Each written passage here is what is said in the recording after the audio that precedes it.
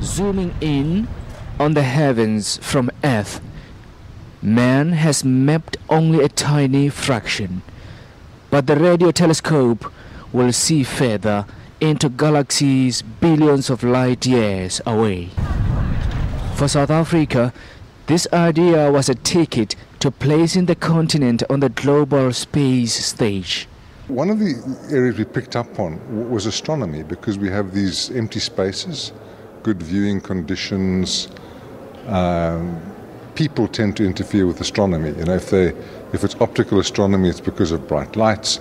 If it's radio astronomy, it's because cell phones and different appliances interfere with picking up sensitive and very, very faint radio signals.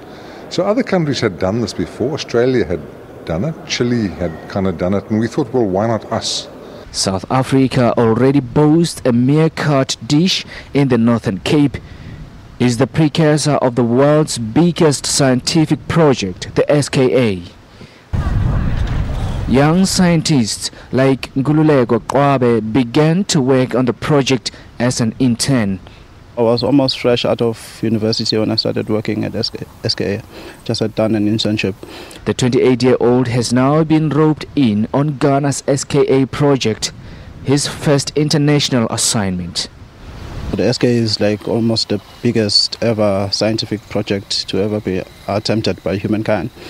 Uh, so to be involved in that and to break ground in Africa is quite exciting. It is our anticipation that the progress we've made in Ghana and the fact that we've been able to build a radio observatory is actually going to take us to the next level of development in the square kilometer array. Africa's ambitious plans into the space turned into reality. And from that, you can tell what's happening in star, star formation, galaxy formation. It's a signal that the universe gives us in the radio spectrum. Mariketa Mutlabe, SABC News, Accra, Ghana.